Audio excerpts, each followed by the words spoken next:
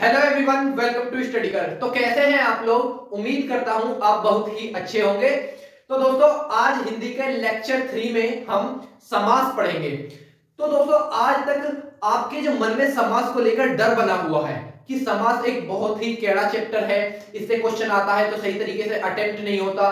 तो आज के बाद ये लेक्चर आपने अगर जो कर लिया तो आपका समास का डर बिल्कुल खत्म हो जाएगा आपके मन से। जैसे जैसे लेक्चर को हम समाप्ति की ओर लेके चलेंगे। वैसे ही वैसे आपका मन का डर भी खत्म हो जाएगा। टेंशन मत लीजिए। तो दोस्तों, अगर जो अभी तक आपने स्टडी करके चैनल को सब्सक्राइब नहीं किया है तो पहले नीचे जाके स्टडी करके चैनल को सब्सक्राइब करें और पास वाले बेल आइकन को भी प्रेस कर लें, क्योंकि आने वाली वीडियो का नोटिफिकेशन आपके पास आता रहे और आपकी तैयारी और अच्छी हो जाए। अब की बार, आखिरी बार। आपके माँ बाप ने बहुत ही सपने देखे होंगे आपके लिए। तो अब टाइम आ गया है कि आप उनके सपनों को पूरा करें। मैं और मेरी टीम स्टडी करके पूरी टीम आपके लिए हर तरीके से, हर संभव प्रयास करेगी कि आपको एक अच्छा कंटेंट प्रोवाइड कराया जाए और आपकी तैयारी को एक बेहतर रूप दिया जाए, एक बेहतर दिशा दी जाए, जिससे कि अब की बार यूपी पुलिस की वर्दी आपकी हो जाए। तो दोस्तों, आइए समाज को आगे बढ़ाते हैं लेक्चर थ्री को। बात करते हैं समास क्या होते हैं समास तो समास की अगर जो डेफिनेशन कहें हम, एक छोटे से वर्ड में बाँध के कि समास की डेफिनेशन जो है, वो है किसी भी शब्द का संक्षिप्तीकरण करना। क्या? संक्षिप्तीकरण करना। किसी भी वर्ड का संक्षिप्तीकरण करना या किसी शब्द को कम कर देना, छोटा कर देना। कम करना या छोटा कर देना, क्या कहलाता है? समास कहलाता है। जैसे कि मैंने आपको एक स्टेटमेंट दिया कि राजा का पुत्र। तो इसका समास क्या हो जाएगा? इसका समास हो जाएगा राजपुत्र। देखो, कितना बड़ा स्टेटमेंट था? राजा का पुत्र। और उसको हमने एक छोटे से वर्ड में लिख दिया, राजपुत्र। तो ऐसे ही चीज़ को हम क्या बोलते हैं? समास बोलते हैं। तो समास के कितने भेद भेद होते हैं? समास के छह भेद होते हैं। क्वेश्चन दो, इकतालीस हज़ार वाली वैकेंसी में यूपी पुलिस में डिट्टो पूछा गया है। सीधा सीधा कि समाज के कितने वेद होते हैं? ऑप्शन में छह था। जिस जिस बच्चे ने राइट किया होगा, आज वो नौकरी कर रहे होंगे। तो क्वेश्चन यहाँ से सीधा भी पूछ लिया जाता है, समाज के कितने वेद होते हैं? छह वेद होते हैं। कौन कौन से? देख लेते हैं। पहला, द्वंद्व समास द्वंद्व समास जो कि सबसे सरल है। दूसरा है आपका, दिगु समास दिगु समास तीसरा है आपका, हम ले लेते हैं कर्मधारय कर्म धार्य कर्मधार्य समास। चौथा ले लेते हैं हम आपका बहुवीर्य समास। बहुवीर्य। बहुवीर्य। समास। आपका पांचवा ले लेते हैं हम अव्यय भाव समास। अव्यय। अव्यय भाव समास। ठीक है? छठा ले लेते हैं हम आपका, जो कि सबसे बड़ा समास है, इसको हम समय लास्ट में पढ़ेंगे, तत्पुरुष।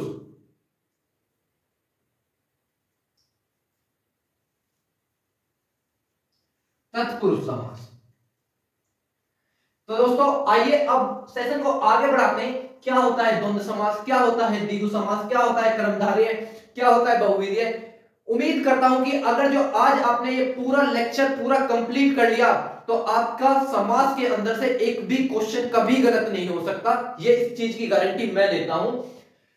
आपके पेपर में यूपी पुलिस का हो या किसी भी, कोई भी स्टेट एग्ज़ाम हो जिसमें कि आपका हिंदी पूछा जाता हो, एक से दो क्वेश्चन समाज से बनते हैं। तो आज इस लेक्चर में आप प्रण लेके बैठिए कि हमको अपने दो नंबर या दो क्वेश्चन पक्के करके जाने हैं। तो द्वंद्व समास क्या होता है द्वंद्व समास सबसे आसान मतलब कि समास के अंदर सबसे जो आसान समास है, वो कौन सा है? हमारा द्वंद समास। इसको देख लेते हैं। एक और चीज़, इसमें अभी तक तो ये सिंपल सिंपल चीज़ें चल रही थी। अगर जो पेपर में आपसे पूछ लेता है, उदाहरण देके एग्जांपल देके पूछता है कि इसमें कौन सा समास है। आप लोग आसानी से उसको अटेम्प्ट कर पाते हैं और राइट आंसर लगा सकते हैं उसका।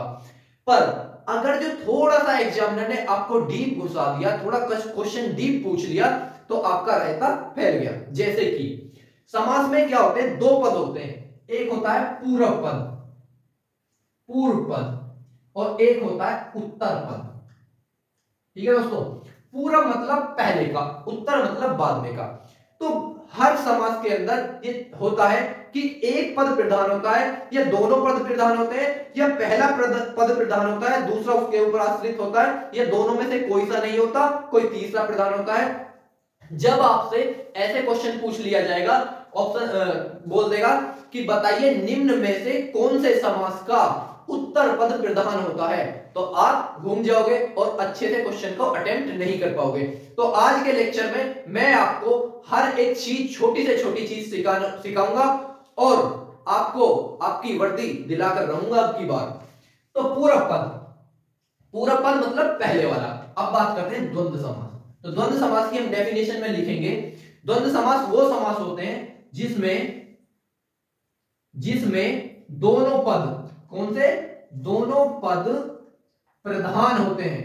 अब प्रधान का मतलब समझ रहे हो आप? प्रधान का मतलब जैसे कि आपके गाँव में, आपके मोहल्ले में, आपके शहर में एक मेयर चुना जाता होगा या पार्षद चुना जाता होगा या गाँव का प्रधान तो एक मेन आदमी होता है ना? तो ऐसे ही समाज के अंदर दो पद होते हैं, उन पद में प्रधान कौन सा है? मज़बूत कौन सा है? उसी को बोलेंगे प्रधान पद। ठीक है?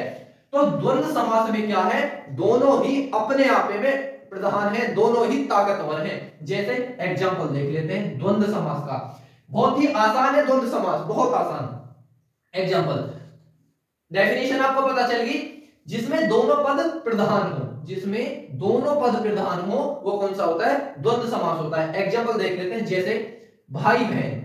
क्या? भाई बहन। माता पिता। माता पिता। सुख दुख। सुख दुख। सुख दुख। पति पत्नी। तो ये जैसे जितने भी ऐसे शब्द मिलते हैं, उन, उनमें कौन सा समास होता है आपका? उनमें होता है आपका द्वंद्व समास। और इनमें एक विभक्ति चिन्ह भी होता है। जो ये कनेक्टिंग का वर्ड दिख ये कनेक्टिंग वाला जो चिन्ह दिख रहा है, ऐसे वाला। जहाँ भी जिस भी आपको 99 परसेंट केसेस में जहाँ भी आपको ये बीच वाला ऐसा रिलेशन दिखे वहाँ जगह आप आँख मीच के कौन सा समास लगाओगे? द्वंद्व समास लगाओगे। और मैंने बताई दिया, पद वाला जो काम था कि पूरा पद प्रधान है या उत्तर पद प्रधान है तो इसके लिए भी आपको अब कोई दिक्कत नहीं होगी। इसमें दोनों ही पद प्रधान होते हैं। भाई भाई भी अपने आप में बड़ा है बहन भी अपने आप में अस्तित्व रखती है। तो कौन दोनों ही अपने आप में ताकतवर हो गए ना? या आपको इनकी. अगर जो ये चिन्ह ना मिले आपको बीच में तो एक क्या मिल सकता है? और लिखा मिल सकता है इनके बीच में, जैसे भाई और बहन, माता और पिता। ऐसे मिलेगा आपको, ठीक है?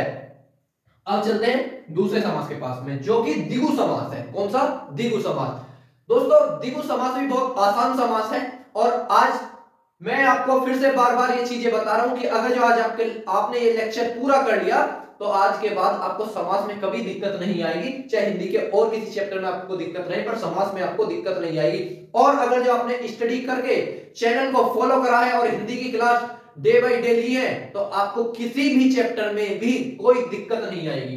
अब बात करते हैं दिगु समास क्या होता है दिगु समास जिस भी समास के अंदर जिस भी समास के अंदर क्या आ जाए शुरू में संख्या आ जाए मतलब कि पहला पद पहला पद संख्यावाची या संख्या वाला संख्या वाला संख्यावाची मतलब संख्या वाला पहला पद अगर जो संख्या वाला हो, और उत्तर पद क्या हो आपका? उत्तर पद इसमें क्या हो? प्रधान हो जी सर।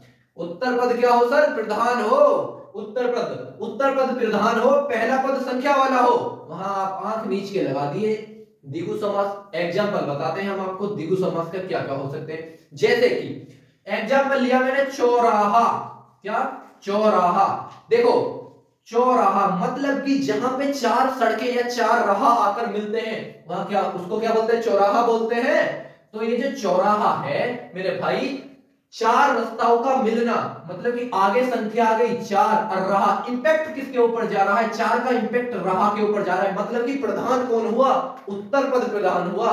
तो समझ में आ गया? चौराहा, तिराहा। ये जितने भी आपके जिस भी समास के आगे आपको संख्या लगी मिल जाए और उत्तर पद पे दहन हो जाए, वहाँ जगह आपका दिगु समास होगा। आँख मीच कर लगा दीजिएगा। तो आई होप कि आपको द्वंद्व समास और दिगु समास में अंतर भी पता चल गया होगा। कर्मधारय समास। तो दोस्तों, कर्मधारय समास क्या होता है? कर्मधारय समास में पहला पद क्या? पहला पद विशेषण हो और दूसरा पद विशेष से हो। इसकी परिभाषा लिखेंगे हम। पहला पहला पद पहला पद विशेषण हो। क्या हो? विशेषण। अब बात विशेषण पे आ गई है तो आगे जब ही पढ़ेंगे, पहले विशेषण को पता कर ले, विशेषण क्या होता है? वे शब्द जो संज्ञा और सर्वनाम की विशेषता बताते हैं, उन शब्दों को हम क्या कहते हैं? विशेषण कहते हैं। तो पता चल गया विशेषण क्या है? वे शब्द जो संज्ञा और सर्वनाम की विशेषता बताते हैं, विशेषण कहलाते हैं। जैसे राम की कोई, राम काला है, गोरा है तो राम की जो विशेषता बता बताई जा रही है, उसी को हम क्या कहते हैं? विशेषण कहते हैं। पहला पद विशेषण और दूसरा पद क्या हो? विशेष हो। क्या? विशेष तो विशेष मतलब जिसकी विशेषता बताए जिस बारे में बताया जा रहा है, जैसे राम काला है तो काला क्या होगा? काला वहाँ के विशेष से होगा, और जो विशेषता बताई गई है किसकी? राम की तो वो विशेषण हो जाएगा वहाँ के। ठीक है? राम काला है तो विशेष समझ में आ गया? पहला पद विशेषण और उत्तर पद विशेष से हो। ठीक है? ये होता है आपका कर्म कर्मधारय अब बात करते हैं इसके एग्ज़ाम्पल की। एग्ज़ाम्पल कैसे होंगे सर इसके? तो एग्ज़ाम्पल में इसके जैसे नीलकंठ। क्या? नीलकंठ। नीलकंठ। तो नीलकंठ में आपका कौन सा समास होगा? कर्मधारय समास होगा। बात करते हैं नील गाय। नील गाय। तो ऐसी गाय जो कि नीली है। तो किसकी विशेषता बताई जा रही है? गाय की। और विशेषता क्या है? नीला। ऐसी गाय जो नीली है। तो नील गाय, ये आपका किस आएगा? कर्मधारय में। बात करते हैं बहुवीर्य समास। तो दोस्तों, बहुवीर्य समास क्या होता है? ऐसे ऐसा समास ऐसा समास जिसमें जिसमें ना तो पूर्व मतलब पूर्व पद प्रधान हो और ना ही उत्तर पद प्रधान हो। और कोई तीसरा पद आकर प्रधान बन जाए, या तीसरा शब्द कोई प्रधान बनता हो तो उस समास को क्या कहेंगे? बहुवीर्य समास कहेंगे। तो इसकी परिभाषा लिख लेते हैं। पहला पद पहला पद या, पहला पद और। पहला पद और उत्तर पद में कोई भी प्रधान ना हो। पहला पद और उत्तर पद में कोई भी प्रधान ना हो, अन्य तीसरा हो। अन्य तीसरा हो। तो ऐसे समास को हम क्या कहेंगे? बहुवीर्य समास कहेंगे। ये जो समास है, ये आपके समासों की जननी कह सकते हैं, बहुवीर्य समास को, जैसे कि बात करेंगे अब समास बहुवीर्य समास की। तो जैसे एग्ज़ाम्पल लेंगे, क्योंकि एग्ज़ाम्पल से ही समझ आएगा आपको अच्छे से। पीतांबर, क्या? पीतांबर। पीतांबर। पीला है अंबर जिसका, अर्थात इस समास को डिफाइन करने के जब आपके शब्द को लेकर, जब आपको शब्द को लेकर आपके दिमाग में एक इमेज बनने लगे पीतांबर पीला है अंबर जिसका अर्थात विष्णु भगवान। तो एक तीसरे शब्द, तीसरे आदमी का चयन हुआ ना, शब्द क्या था? पीतांबर पर निकल के कौन आए? विष्णु भगवान। तो यहाँ जी के कौन? ना तो पहला पद, ना उत्तर पद, कोई सा प्रधान ना हुआ, कोई अन्य आकर तीसरा प्रधान हो गया। पीतांबर मतलब कि विष्णु भगवान। ऐसे समाज को क्या कहेंगे? बहुवीय समाज कहेंगे। देख, दूसरा एग्ज़ाम्पल देखते हैं इसी का। जैसे नीलकंठ। क्या? नीलकंठ। दोस्तों, ये अब कहोगे, सर, आप क्यों पागल बना रहे हो?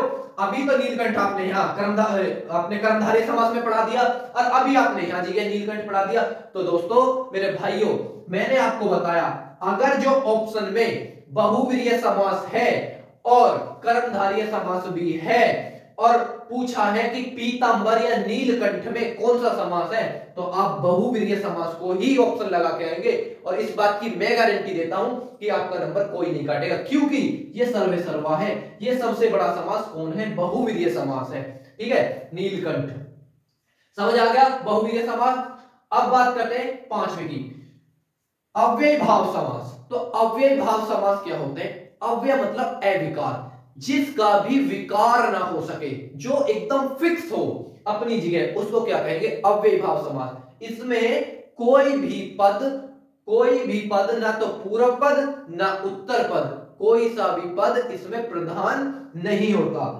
कोई सा भी पद प्रधान नहीं होता और जो अगला वाला शब्द होता है जो पहले पूर्व वाला पद होता है वो क्या होता है? अव्यय होता है मतलब कि अविकारी होता है जिसका विकार न हो सके। अब ये कुछ फिक्स वर्ड है। ये कुछ फिक्स वर्ड है।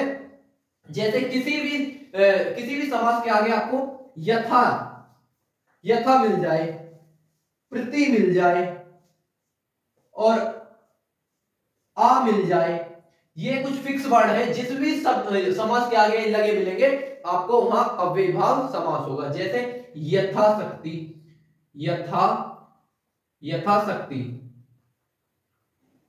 कौन सा? यथाशक्ति।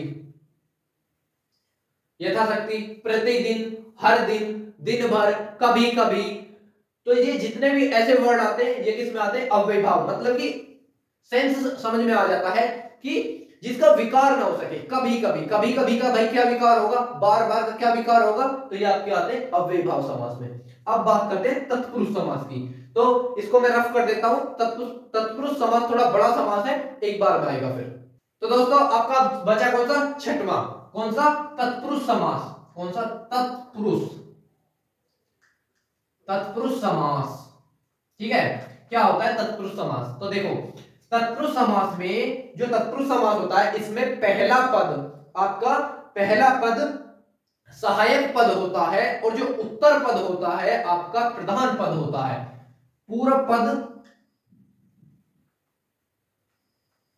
सहायक। सहायक पद के रूप में काम करता है और जो उत्तर पद होता है, बाद वाला, वो प्रधान पद होता है। ठीक है? क्वेश्चन सीधे सीधे पूछ लेगा एग्ज़ाम में आपसे कि ऑप्शन में दे देगा तत्पुरुष समास और सीधा पूछेगा कि किस समास का पूरा पद सहायक पद होता है? क्योंकि एकमात्र ऐसा समास है जिसका पूरा पद सहायक पद के रूप में काम करता है। ठीक है? तो जी आपको पूरा पद का क्या लगा देना है? तत्पुरुष समास लगाना है। तो तत्पुरुष समास में अंदर जाके और सात समास आ जाते हैं, जो कि एक कारक, आपने कारक अभी मैं अगली क्लास में आपको कारक ही पढ़ाने वाला हूँ। अगर जो आपने कारक पढ़, पहले कारक पढ़ लिया होता, तब समास पढ़ते तो और ज़्यादा अच्छा होता। पर चलो, कोई नहीं, मैं कोशिश करूँगा कि अभी भी आपको बहुत अच्छे तरीके से समझा पाऊँ। जैसे, इधर लिख लिया हमने कारक, इधर लिख लिए चिन्ह। मतलब कि जो कारक के चिन्ह होते हैं। इनको याद करेंगे हम ऐसे। अभी पहले हम लिख लेते हैं, कर, पहले लिखते हैं कर्ता। तो कर्ता कारक का चिन्ह क्या होता है? कर्ता ने। कर्म, को। करण से संप्रदान के लिए अपादान कर्ता ने कर्म को, करण से संप्रदान के लिए अपादान से अपादान से या अलग। कर्ता ने कर्म को करण से संप्रदान के लिए अपादान से या अलग संबंध संबंध का, के, ना, ने, नी। ठीक है? कर्ता ने कर्म को करण से संप्रदान के लिए अपादान से अलग संबंध, का, के, ना, ने, नी। आगे बता, अधिकरण, या अधिकरण, के ऊपर के ऊपर एक साथ लेंगे इसको, के ऊपर, के अलग नहीं आएगा, के ऊपर, ठीक है? एक, दो, तीन, चार, पाँच छ सात, हो गए सात? अब मेरे साथ दोहराइए। कर्ता ने कर्म को कर्ण से, संप्रदान के लिए अपादान से या अलग होना, संबंध का, के, ना, ने, नी, अधिकरण के ऊपर। एग्ज़ाम्पल से समझेंगे इसको। जैसे कि एग्ज़ाम्पल लेंगे हम। राजा का पुत्र। क्या राजा का पुत्र।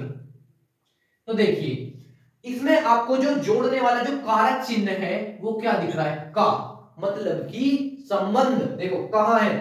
का कौन से कारक चिन्ह में आता है? संबंध कारक में आता है। तो हम इसको बोल सकते हैं, ये कौन सा होगा? संबंध तत्पुरुष होगा। संबंध तत्पुरुष समास होगा। संबंध तत्पुरुष समास। तो दोस्तों, ऐसे ही जहाँ पे भी ये ने को से, के लिए से, अलग का, के ना, ने, नी, के ऊपर ये बीच में विभक्ति चिन्ह लग जाए, सीधा समझ जाना तत्पुरुष समास है वहाँ पर। तो दोस्तों आई होप ये वीडियो आपको बहुत पसंद आया होगा। वीडियो पसंद आई हो तो वीडियो को लाइक करें शेयर करें कमेंट करें और चैनल को सब्सक्राइब करें। Thank you